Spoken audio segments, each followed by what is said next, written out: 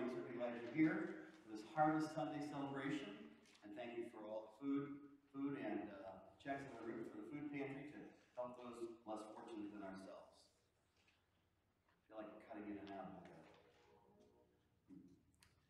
Uh, okay, a few announcements this morning. First of all, uh, Jane Siefker from the Mission Committee asked me to let you know today is the last day for uh, mittens, gloves, and scarves and hats on the tree down in Fellowship Hall, which you've had a basket up here for.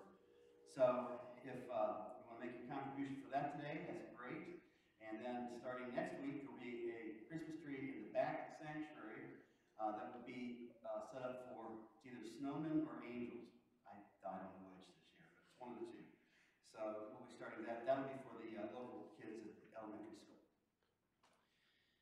And then there's a church cancellation notice in the bulletin. Uh, you can read that and remember it if we think we might have to cancel worship because of COVID 19. I? I'm going in and out, aren't I? Don't know what's going on with that. Hmm.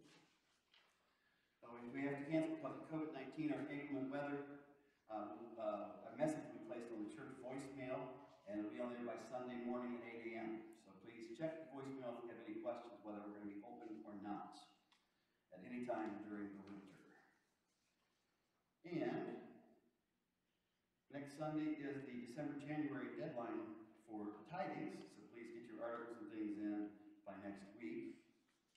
And we have in our prayer concerns, Katie Ayala remains there, Ted Rashawn, uh, Pam Bader, Ryan Backus, Dixie Barkley had her ninth surgery this past week up in Lurie Children's Hospital. So please pray for little Dixie. She's slightly over a year old, about a year and a half.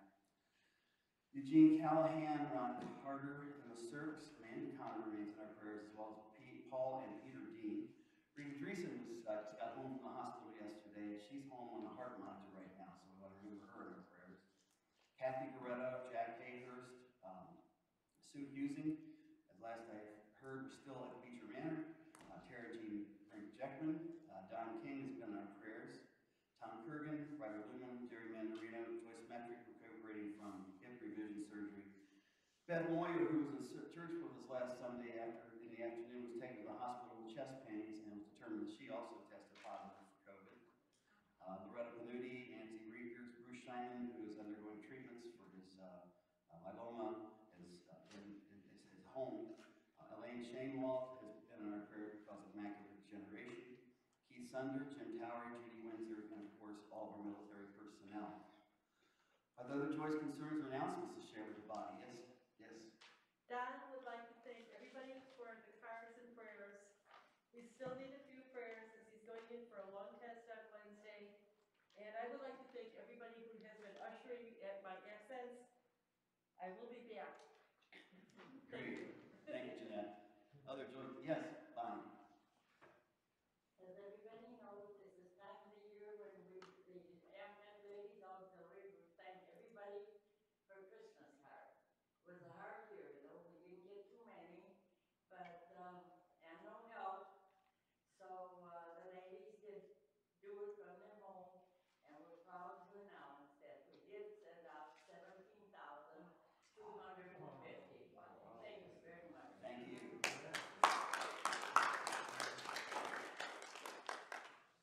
And those numbers are down. Barb? Uh, thank you for all the prayers for Brian, he is back to work. Oh, Doing, got a nice desk job, so I think it's okay, he's doing good. Thank you for all the prayers. Brian Backus is back to work. That's great news. Glad to hear it. Other joys, concerns, or announcements? Hearing none, let's prepare our hearts to worship God with the singing of our song of preparation.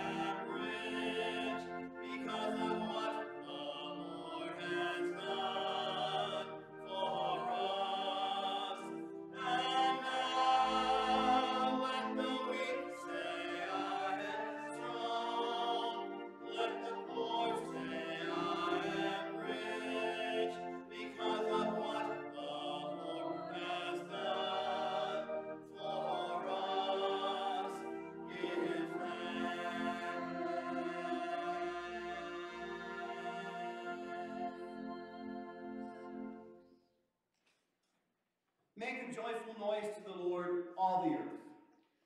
Worship the Lord with gladness. Come into his presence with singing. Know that the Lord is God. It is he that made us, and we are his. We are his people and the sheep of his pasture. Enter his gates with thanksgiving and his courts with praise. Give thanks to him. Bless his name. For the Lord is good. His steadfast love endures forever, and his faithfulness to all generations. Please join me in the opening prayer. Lord, Lord, bounty and blessing, we come to you this day in gratitude for all that we have been given. We are grateful for the blessings and for the opportunities to be of service to others in your holy name. Bless each of us here, that we may become truly blessings to others. For we ask this in Jesus' name. Amen. Let us now join together in singing our opening hymn, and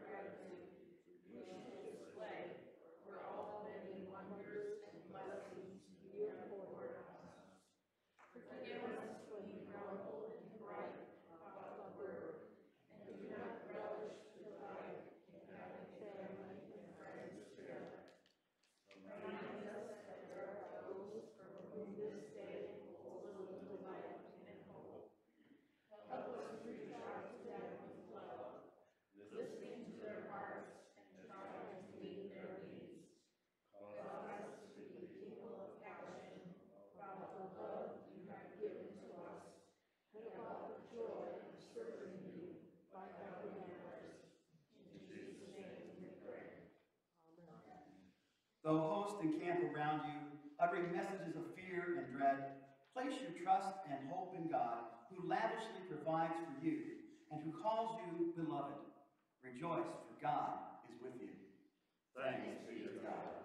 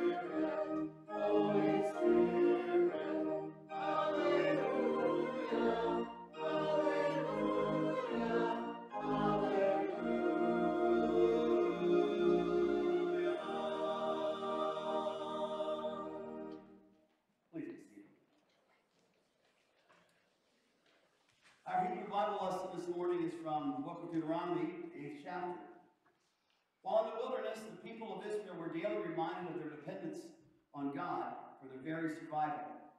But things may be different in the promised land.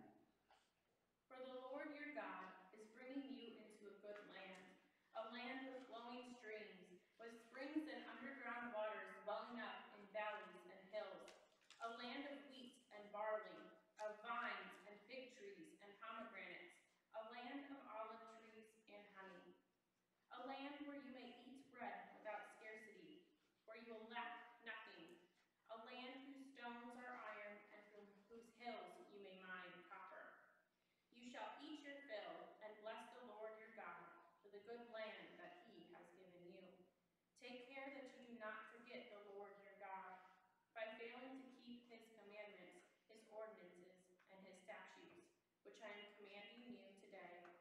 When you have eaten your fill and have built fine houses and live in them, and when your herds and flocks have multiplied, and your silver and gold is multiplied, and all that you have is multiplied, then do not exalt yourself, forgetting the Lord your God, who brought you out of the land of Egypt, out of the house of slavery, who led you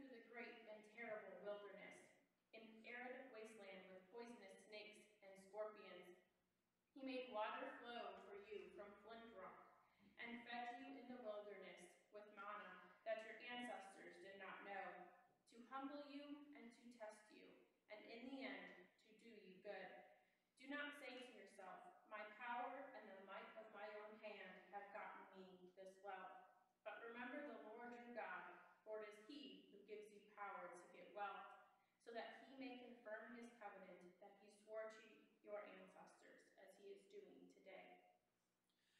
our epistle lessons from 2 Corinthians, the ninth chapter.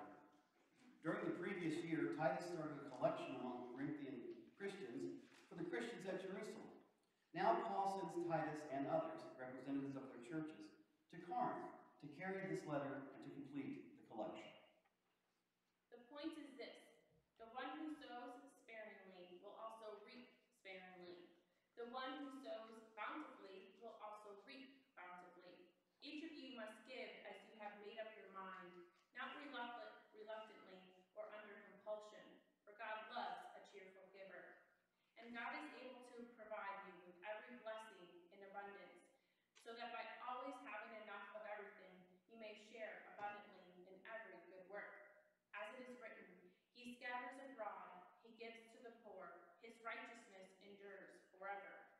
He who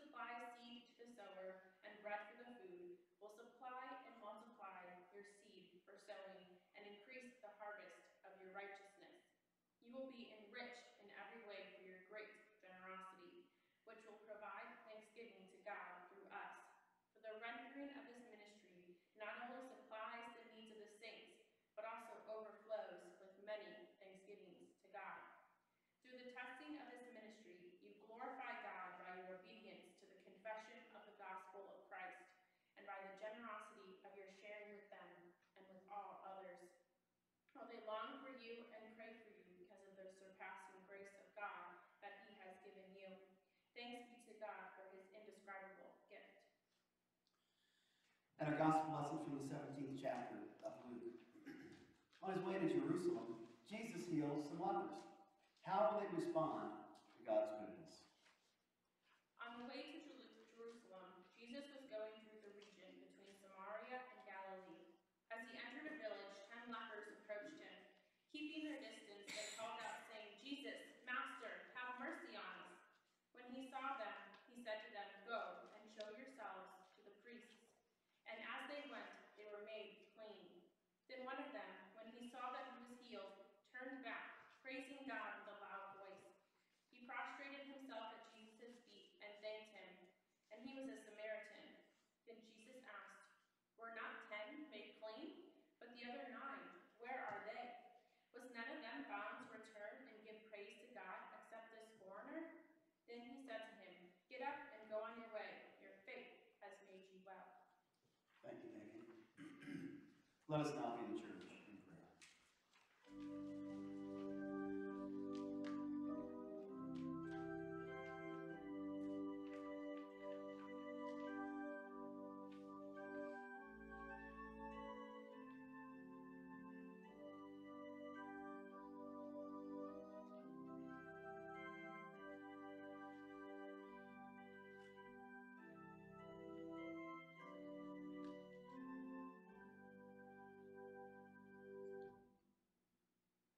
Accept, O Lord, our thanks and praise for all that you have done for us.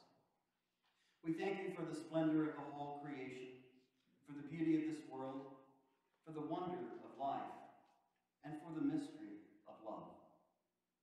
We thank you for the blessing of family and friends, and for the loving care which surrounds us on every side. We thank you for setting us at tasks which demand our best efforts and for leading us to accomplishments which satisfy and delight us. We thank you also for those disappointments and failures that lead us to acknowledge our dependence on you alone. Above all, we thank you for your Son, Jesus Christ, for the truth of his word and the example of his life, for his steadfast obedience by which he overcame temptation for his dying for which he overcame death, and for his rising to life again, in which we are raised to the life of your kingdom. Lord, grant us the gift of your Spirit, that we may know him and make him known, and through him at all times and in all places, may give thanks to you in all things. All this we pray in the name of our risen Savior, who taught us to pray by saying, Our Father, who art in heaven, hallowed be thy name. Thy kingdom come, thy will be done, on earth as it is in heaven. Give us this day our daily bread, and forgive us our debts, as we forgive our debtors. And lead us not into temptation, but deliver us from evil. For thine is the kingdom, and the power, and the glory forever.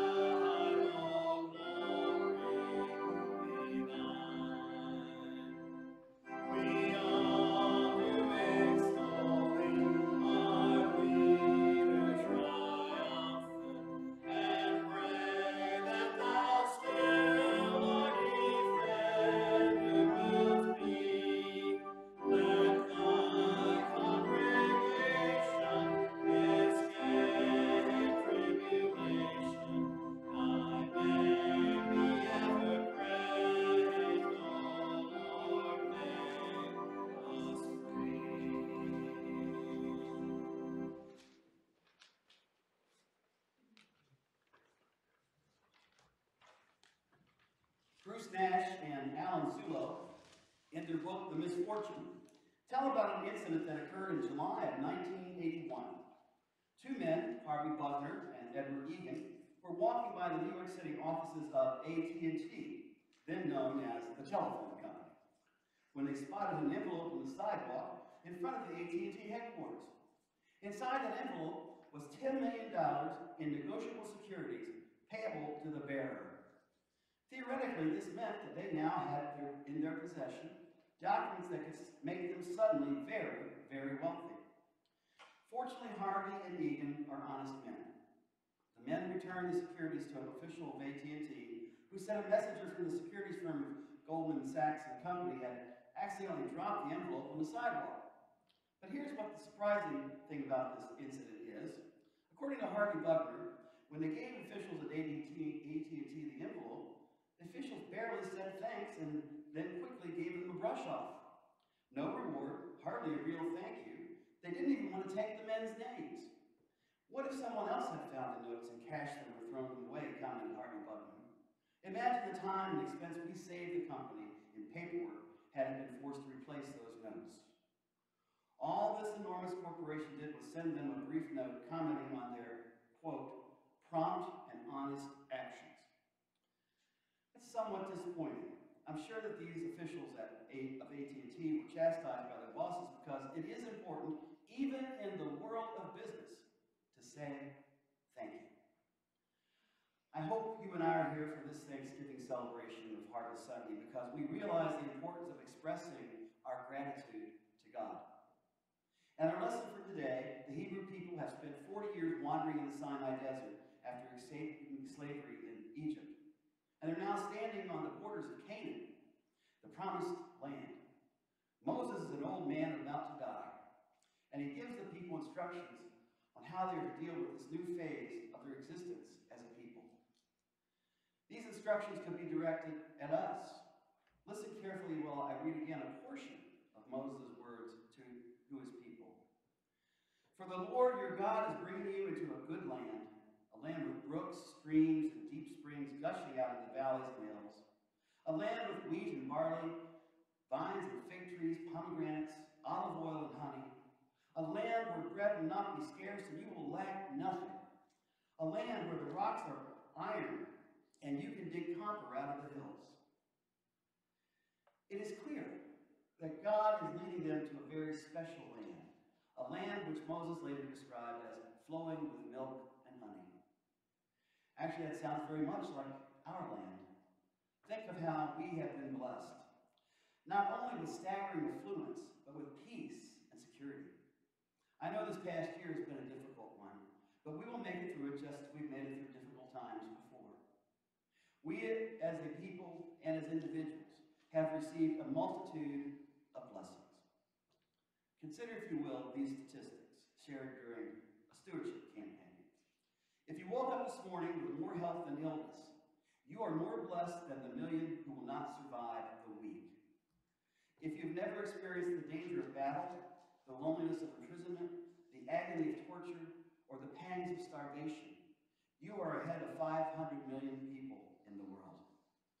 If you can attend a church meeting without fear of harassment, arrest, torture, or death, you are more blessed than 3 billion people in the world. If you have food in the refrigerator, clothes on your back, a roof overhead, and a place to sleep, you're richer than 75% of this world.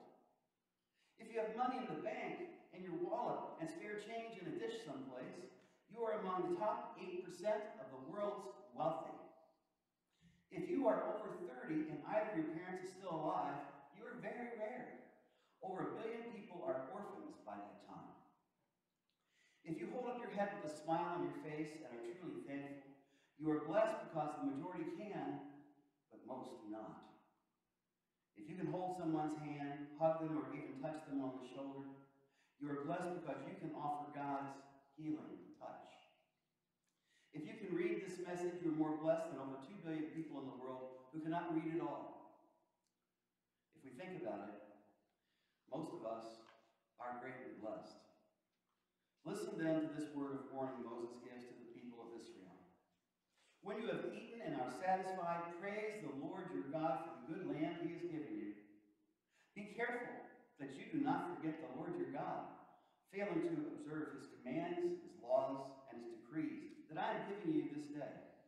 Otherwise, when you eat and are satisfied, and you build fine houses and settle down, and when your head herds and flocks grow large, and your silver and gold increase, and all you have is multiplied, then your heart will become proud, and you will forget the Lord your God.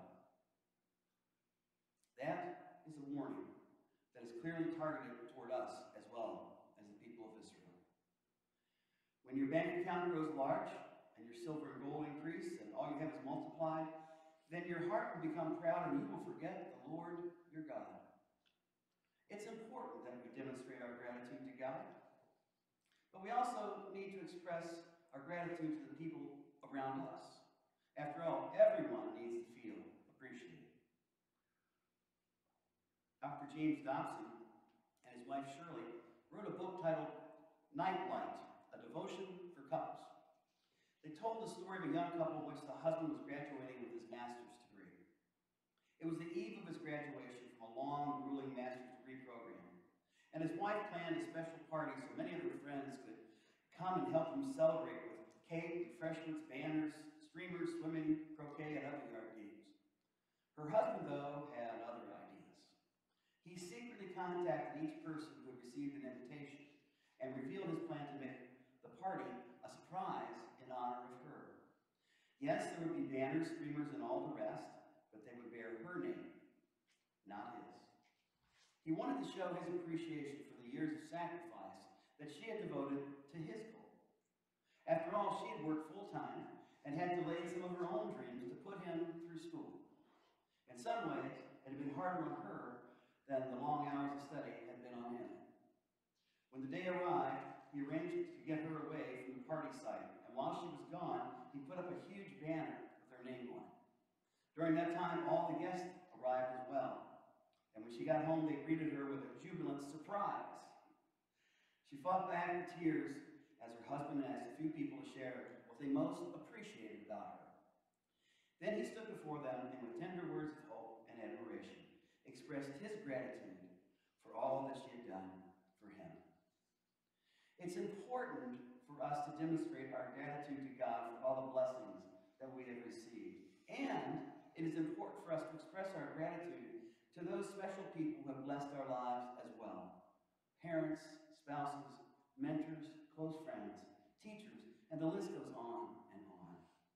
People who have played a positive role in our lives. They deserve, deserve a word or a gesture of appreciation. The interesting thing about expressing our appreciation to God and to others is that it blesses us as much or even more than it does them. Of course, God doesn't need our gratitude, but we need to express it. Our friends and family need our gratitude and appreciation, but just as surely we need to demonstrate how we feel about them for our own sakes. More and more studies are showing that a sense of gratitude is one of the most beneficial things we can do for our own mental, emotional, and even physical well-being. A.J. Cronin once told of a doctor prescribed in certain cases of neurosis what he called his thank you cure. When a patient came to him discouraged, pessimistic, and full of his own woes, but without any symptoms of a serious ailment, he would give this advice. For six weeks, I want you to say thank you whenever anyone does you a favor, and to show you mean it, emphasize the words with a smile. But no one ever does me a favor, doctor, the patient might complain. Whereupon, borrowing from Scripture, the wise old doctor would reply, Seek, and you will find. Six weeks later, more often than not, the patient would return with quite a new outlook, freed of a sense of grievance against life, and convinced that people had suddenly become more kind and friendly. Science is confirming what sensitive souls like A.J. Cronin have known for a long time the many benefits of an attitude of gratitude. Several years ago, two researchers at the University of California, Davis, conducted a study on the role of gratitude in a person's sense of well being. They asked several hundred people to participate in their study. One group kept a journal noting all the events that happened each day. Another group noted only the unpleasant experiences of each day. A third group kept a journal of those things that occurred each day for which they were grateful. What do you expect that study showed?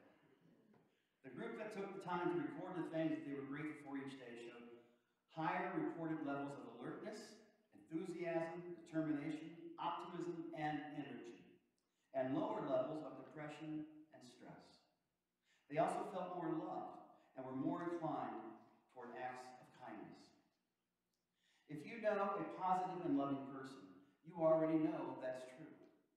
When you express feelings of gratitude, whether toward another person or toward God, it has a positive effect on your own spirit. If you're thankful for what you've got, and if you're grateful for the people you love, you are one lucky person. David H.C. Read, a contemporary preacher, says, quote, If I were to wake up one morning and find that I was an atheist with my faith in God completely gone, I think I would miss almost more than anything else having someone to thank. I can hardly conceive what it would be like never, never being able to say in a moment of exhilaration or unexpected happiness or of rescue from deep distress, Oh God, you're good to me. End quote. Wise people know this is true. As someone has said, he who is grateful is never truly poor, and he who isn't grateful is never truly rich. It's so true. You want to be happy and rich? Learn to always give thanks. Amen.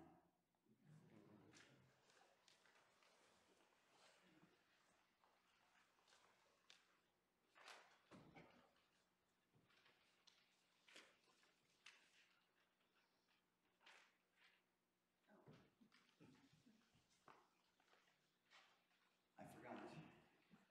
The scriptures tell us to make a joyful noise, to come into God's presence with singing and give thanks and bless God's name.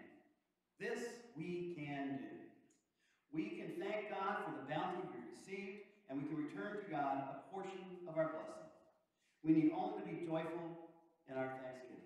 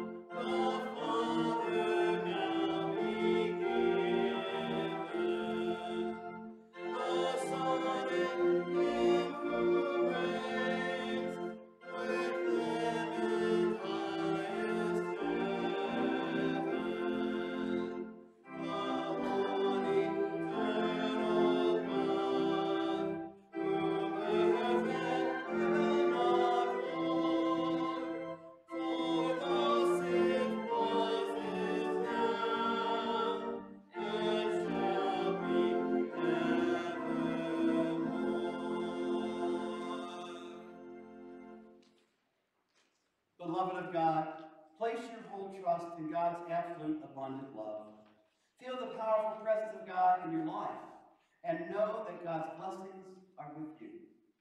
Go in peace, and may God's peace always